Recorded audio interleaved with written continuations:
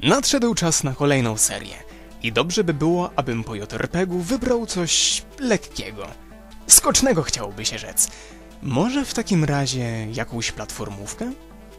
Oczami wyobraźni widzę już jednak komentarze niektórych osób mówiące ale obiecałeś Rockman Forte! A tytuł tego filmu wskazuje na zupełnie coś innego. Trafne spostrzeżenie.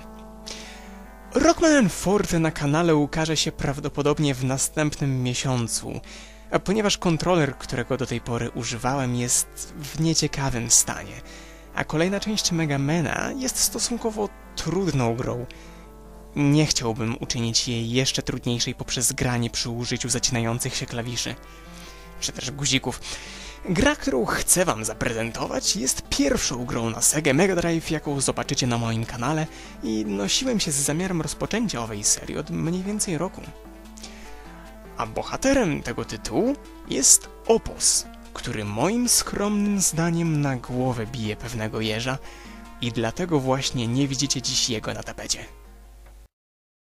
Hej! Wirgliusz witam was wszystkich bardzo serdecznie w kolejnej serii Zagrajmy Wy.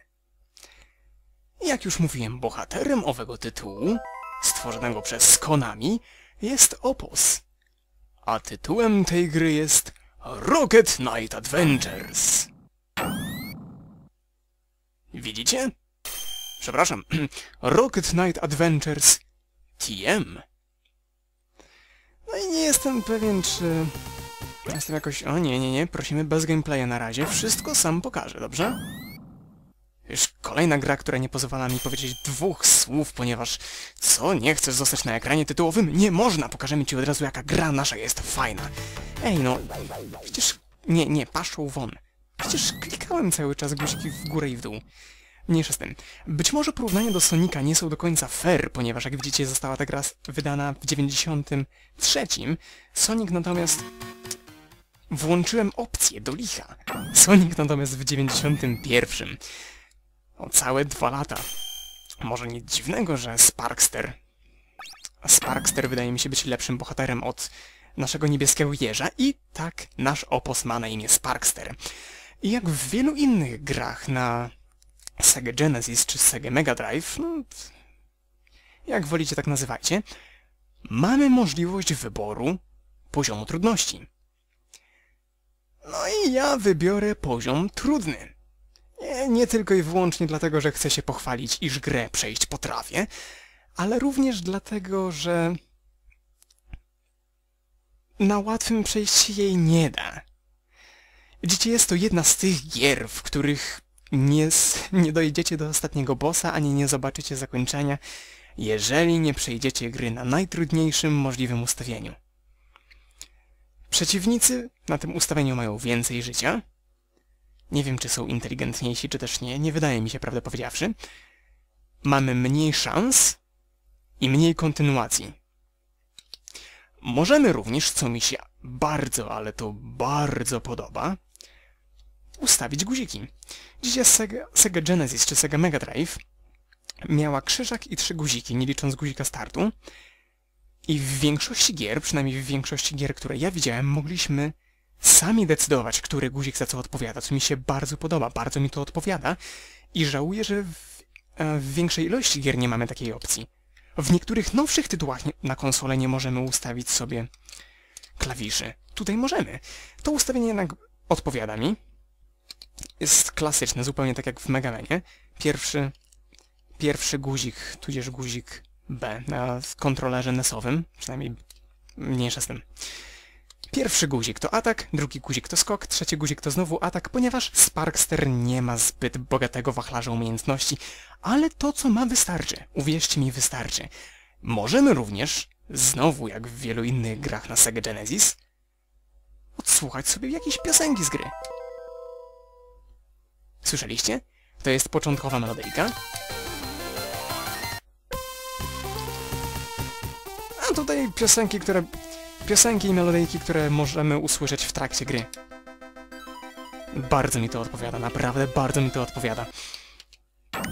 Ogólnie muszę przyznać, że chociażby przez sam fakt, iż w większości gier na Sega Mega Drive mamy ograniczoną ilość kontynuacji, wolę gry na Super Nintendo lub na NESa, ale możliwość odsłuchania melodyjek zawsze mi się podobała. I może słów kilka powiem o fabule gry. Widzicie? Akcja rozgrywa się... Akcja rozgrywa się w świecie o nazwie Elhorn, Królestwie Zebulos.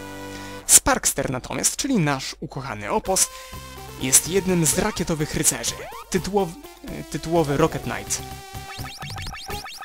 Widzicie, rakietowi rycerze jest to elitarny oddział, który chroni klucza do Big Star. Tak, to jest ewidentne nawiązanie do Gwiezdnych Wojen. Do Świniowej Gwiazdy. Sparkster jednak, pomimo tego, iż jest kapita kapitanem rakietowych rycerzy, opuścił na czas jakieś królestwo Zebulos, albowiem chciał odnaleźć innego z rakietowych rycerzy, swojego podwładnego Axela Gira, który zdradził królestwo i z... nie zamordował, przepraszam, ale dotkliwie zranił przybranego ojca Sparkstera. Teraz jednak źle się dzieje w królestwie oposów. Dajcie spokój, królestwo oposów brzmi znacznie, znacznie lepiej niż Zebulos. Chociaż może, może nie. Źle się dzieje w królestwie oposów, jak widzimy w Zebulosie. Z tyłu mamy zamek i atakuje go jakiś ogromny pająk. Fakt troszeczkę nieruchawy, ale mimo wszystko wygląda no, stosunkowo strasznie. Tak, musimy go powstrzymać. I widzieliście już naszych pierwszych przeciwników, których położyłem moim wspaniałym mieczem. I Sparkster jako rycerz oczywiście mieczem może się posługiwać i jako rakietowy rycerz może naładować swój rakietowy plecak. Widzicie, poprzez przytrzymanie guzika ataku możemy naładować rakietowy plecak Sparkstera, zupełnie jak mogliśmy naładować ręczną armatkę Megamena. Z tą różnicą, iż Spark Sparkster wystrzelić może w każdym kierunku. Tak, nie wystrzeli żaden pocisk, tylko siebie. Możemy to zrobić we wszystkich ośmiu kierunkach. Pod kątem 45 stopni, bezpośrednio w górę, bezpośrednio w dół, na wprost, w miejscu, tak, możemy nawet atakować w miejscu, wykonując całkiem efektowny i efektywny korkociąg. W dół pod kątem 45 stopni, co uwierzcie mi przyda się później. I jako opos, czyli ssak spędzający noce na drzewach, Sparkster jest w stanie zrobić to. Czyli to, co każdy normalny opos potrafi. Umiejętność ta przyda nam się później. I muszę przyznać, że pierwszy poziom Rocket Knight Adventures bardzo mi się podoba, albowiem jesteśmy w stanie wykorzystać wszystkie nasze umiejętności. Gra tego wręcz od nas wymaga. Czyli mamy tutaj oczywiście paru przeciwników, których można pokonać w jakikolwiek sposób.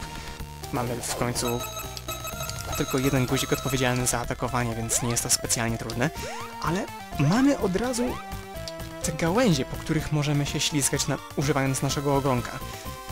Naprawdę podoba mi się to, nie mamy żadnego tutoriala, tutaj natomiast nie ma żadnych gałęzi i ściana ta jest za wysoka, abyśmy sami byli w stanie przez nią przeskoczyć. I tutaj właśnie trzeba użyć naszej rakiety. Widzicie? Bez żadnej strzałki, bez żadnej, bez żadnej podpowiedzi. Całkiem przyjemne. Naprawdę. Kiedy po raz pierwszy grałem w Rocket Knight Adventures, e, szybko się domyśliłem, czego gra w jakich momentach ode mnie oczekiwała. Może było kilka miejsc, w których naprawdę chwilę się zaciąłem, a nawet straciłem kilka żyć przez to, iż nie miałem nie miałem sprecyzowanych e, celów lub w miejscach, gdzie jakiś przedmiot wyglądał na taki, na taki przedmiot, z którym muszę wejść w interakcję, a tak naprawdę nie musiałem. A, i Sparkster może również ześlizgiwać się po gałęziach, jeżeli nachylone one są ku dołowi. Widzicie? Tutaj na przykład możemy wykorzystać ten fakt, aby wybić się w górę.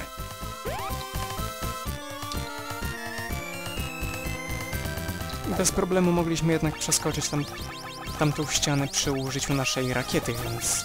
Ech, nie jest tam naprawdę. I mamy kolejnych wielkich przeciwników, których możemy znowu pokonać przy użyciu naszej rakiety. Warto jest jednak zaznaczyć, iż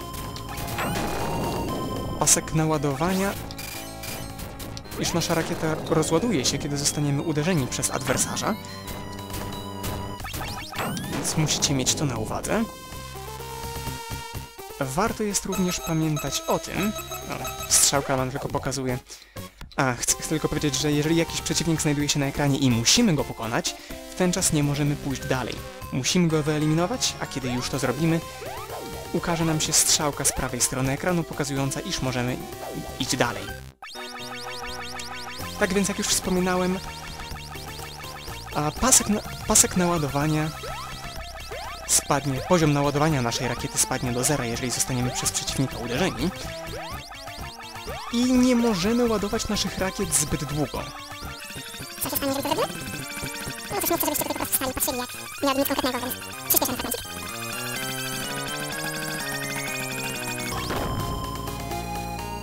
Widzieliście? Jeżeli ładujemy nasze rakiety zbyt długo, ryzykujemy eksplozją. I prawdę powiedziawszy nie zwróciłem baczniejszej uwagi, czy eksplozja ta odbiera nam punkty życia. Wydaje mi się, że tak, ale będę musiał... Będę musiał sprawdzić to na nagraniu. I wy... nie bez powodu wybrałem tamto miejsce w celu pokazania... pokazania tej... no całkiem zabawnej, całkiem zabawnej muszę przyznać scenki, ponieważ za chwilę mamy mnóstwo unoszących się w powietrzu połyskujących jabłek. A unoszące się w powietrzu połyskujące jabłka nie tylko zaopatrzają nas w punkty, ale w, w punkty, widzicie? Tam, z lewej strony. Ale również w serduszka, czyli punkty życia. To zaopatrzy nas w punkty i to zaopatrzy nas w punkty. Tak i tak. Mniejsza z tym. I oczywiście, im więcej punktów zdobędziemy, tym lepiej, albowiem za konkretną ich ilość, całkiem sporawą, zdobywamy dodatkową szansę, a dodatkowa szansa w tej grze zdecydowanie się przyda.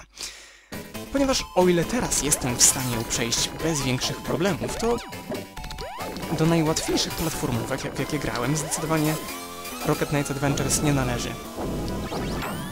Bardzo łatwo dać jest złapać dosyć nieprzyjemnej pozycji, jak na przykład ja tutaj uczyniłem.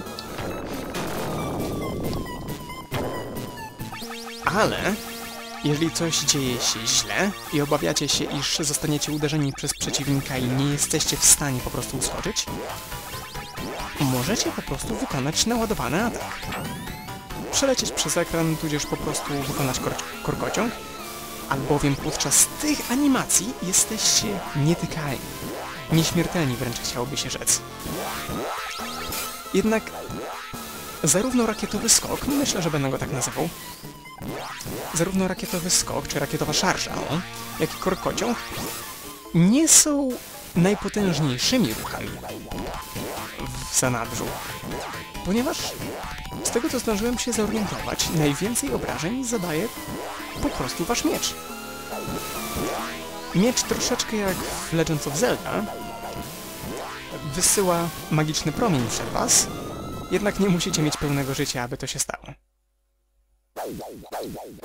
Widzicie? Zostało mi tylko półtora serduszka, a wciąż jestem w stanie wysłać tą falę dźwiękową przede mnie. Jest to bardzo przyjemne i bardzo przydatne.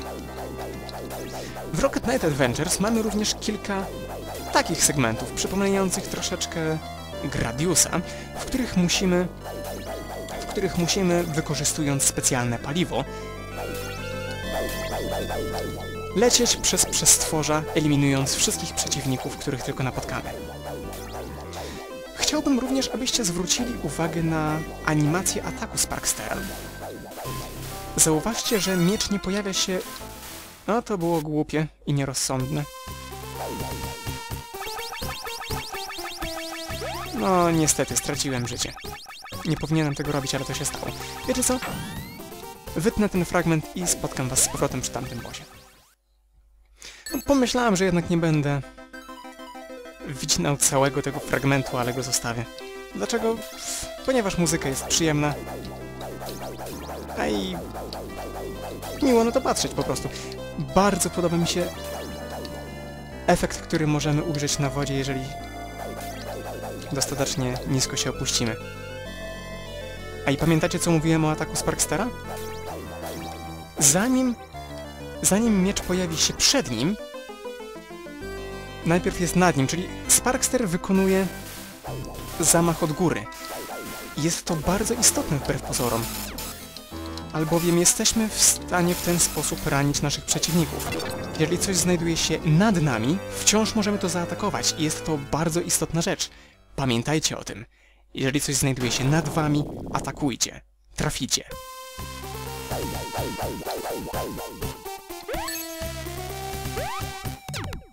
I znaleźliśmy się w zamku. Naprawdę uwielbiam, uwielbiam sposób, w jaki Sparkster po prostu wbija się przez ścianę do...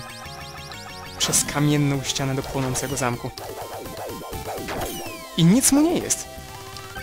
Zauważcie, że Sparkster nie nosi nawet hełmu, tylko gogle. Ale co to dla niego? Kamienna ściana? Psi!